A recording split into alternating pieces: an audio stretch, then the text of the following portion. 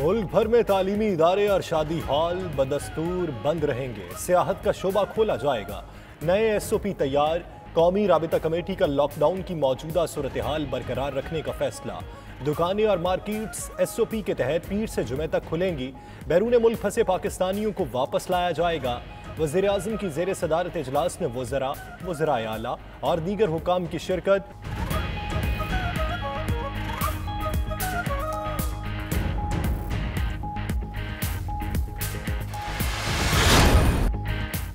चंद मखसूस शोबे बंद रहेंगे, बाकी सब खोल दिए जाएँगे। सयाहत का शोबा खोलने से मुतालिक फैसला सूबे करेंगे।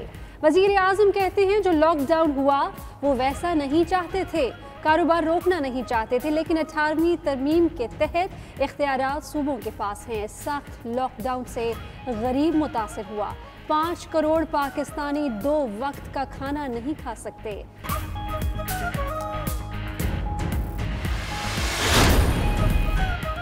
वज़ीर अला पंजाब का मार्केट्स और बाजारों में एस ओ पी पर सख्ती से अमल कराने का हुक्म। एस ओ पीज़ पर अमल ज़रूरी है।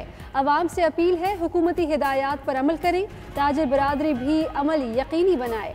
आम आदमी की मुआशी मुश्किल का एहसास करते हुए कारोबार की इजाज़त दी।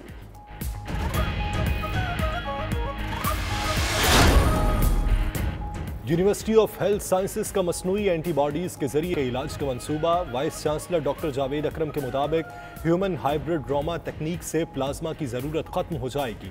प्रोग्राम हो क्या रहा है में मजीद बोले, पाकिस्तान में साइंसी बुनियादों पर लॉकडाउन हुआ ही नहीं।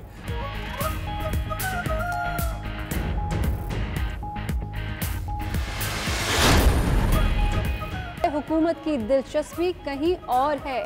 नाअहल हुकूमत गफलत की मुरतकब हो रही है। जान छुड़ाने के लिए नवाज़ शरीफ पर तनकीद कर रही है। आवाम की खिदमत करें या फिर किसी और को करने दें। नवाज़ शरीफ डॉक्टरों की हिदायत पर वॉक के लिए घर से निकले।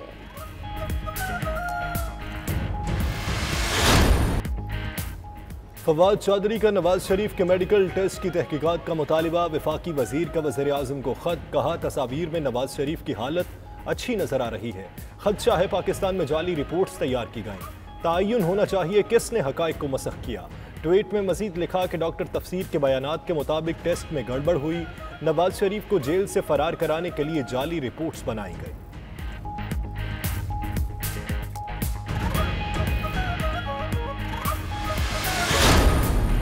शहबाज शरीफ का अबूरी जमानत के लिए लाहौर हाई कोर्ट से रुजू। दरख्वास्त में चेयरमैन नैब और दीगर को फरीक बनाया। उधर नैब लाहौर ने कल शहबाज शरीफ की पेशी के लिए तमाम हिफाजती इकदाम मुकम्मल कर लिए।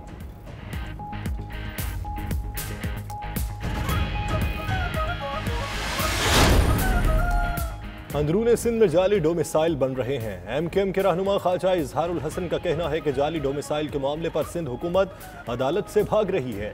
नैब भी मामले की इंक्वायरी करे। कुंवर नवीद ने कहा, सिंध के शहरी इलाकों की सरकारी मुलाजमतें जाली डोमिसाइल बनाकर गसब की जा रही हैं। शहरी सिंध में रहने वाली दीगर कौमियतों से ज्यादती की जा रही है।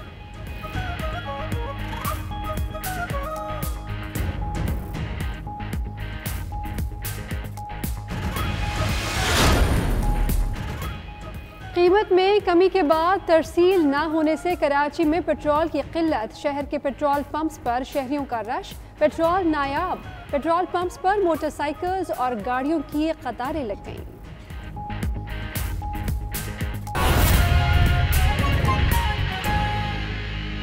तर्जुमान सिंध हुकूमत मुर्तज़ा वहाब इस वक्त न्यूज़ कॉन्फ्रेंस कर रहे हैं। मांगा वफाकी हुकूमत से।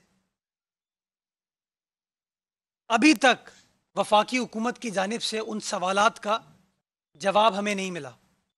हम ये तो रोज़ सुनने को मिलते हैं कि चोर हैं, डाकू हैं, फला हो गया, ये हो गया, हम किसी को नहीं छोड़ेंगे। लेकिन जो सवालात उठाए गए हैं, जो बहुत ही अहम नुकात थे, उनके बारे में अभी तक कई रोज़ गुजर जाने के बाद कोई जवाब नहीं आया। और उस दिन की प्रेस कॉन्फ्रेंस में कुछ चीज़ें हमने जानबूझ के छोड़ी थी। जो कि आज मैं आपके सामने फर्दर उसके ऊपर बात करूँगा। तो अगर हम रिकॉल करें, पिछले हफ़्ते हमारी गुजारिश ये थी कि शुगर कमीशन रिपोर्ट, ये कहती है कि पाकिस्तान के अंदर चीनी के बहरान की एक बुनियादी वजह शुगर एक्सपोर्ट है। जो दस्तावेजात रिपोर्ट के साथ लगे हुए हैं, उनका जब आप मुताला करते हैं तो वो दस्तावेजात शो करते हैं कि एक्सपोर्ट की इजाज़त वफाकी काबीना ने दी, वफाकी काबीना वज़ीर आज़म पाकिस्तान की सरबराही में मिली और 6 दिसंबर को इस बात की मंजूरी दी गई। वफाकी हुकूमत या वफाकी काबीना ने यह मंजूरी ईसीसी की सिफारिश पर की। ईसीसी किसका इदारा है? वफाकी हुकूमत का इदारा है। और ईसीसी ने सिफारिश किसकी पे की? Ministry of trade and commerce की गुजारिश पे। Ministry of trade and commerce का मिनिस्टर इंचार्ज कौन है? इमरान खान साहब हैं।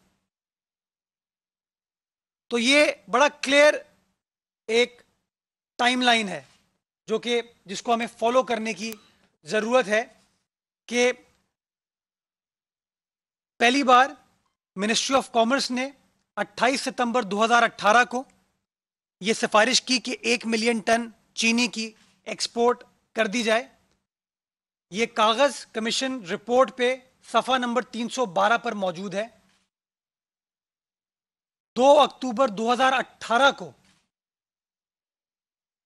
ईसीसी इस बात को अप्रूव करती है, वो कागज़ सफ़ा नंबर 321 पर अवेलेबल है।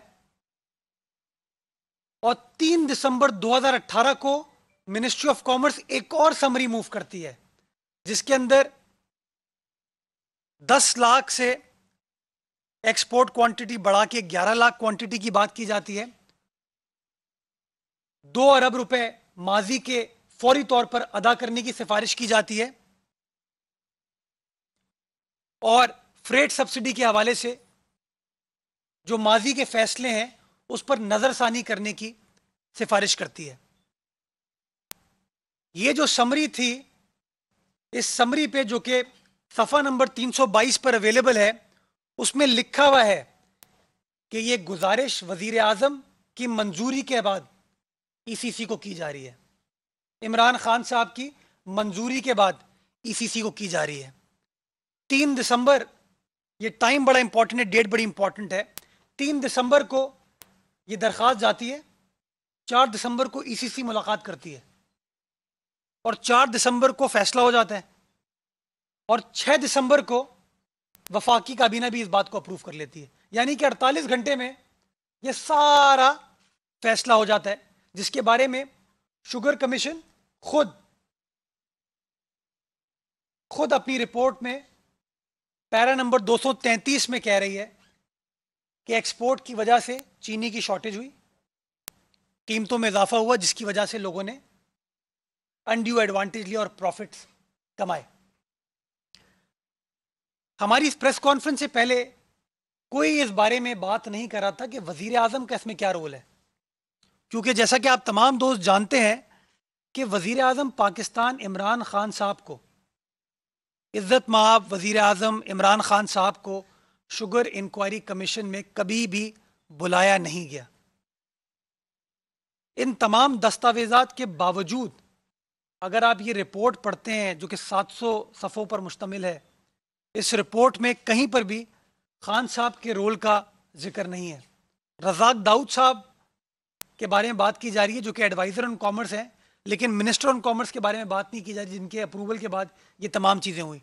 तो किसी न किसी को बचाने की कोशिश की जा रही है। हमारा ये कहना है कि ये जो बचाने की कोशिश की जा रही है, वफाकी हुकूमत या शहजाद अकबर साहब अपने वज़ीर अजम को बचाने की कोशिश कर रहे हैं, जो कि डायरेक्टली इसके अंदर मैं समझता हूँ इन्वॉल्व है और ये सर्कमस्टेंशियल एविडेंस खुद कमीशन की रिपोर्ट में मौजूद है। शहजाद अकबर साहब ने हफ़्ते को लाहौर में एक प्रेस कॉन्फ्रेंस की। उस प्रेस कॉन्फ्रेंस में उन्होंने सिंध हुकूमत के जितने भी सवाल थे, उनमें से किसी का जवाब नहीं दिया। किसी का। उन्होंने मुनासिब नहीं समझा कि क्यों सिंध हुकूमत का मैं जवाब दूँ। लेकिन हाँ उन्होंने एक बात का एतराफ़ किया जो बड़ा इंपॉर्टेंट है। उन्होंने कहा वज़ीर आज़म पाकिस्तान ने कोई सब्सिडी नहीं दी। वज़ीर आज़म पाकिस्तान ने कोई सब्सिडी नहीं दी, बल्कि वज़ीर आज़म ने सिर्फ़ एक्सपोर्ट करने की इजाज़त दी।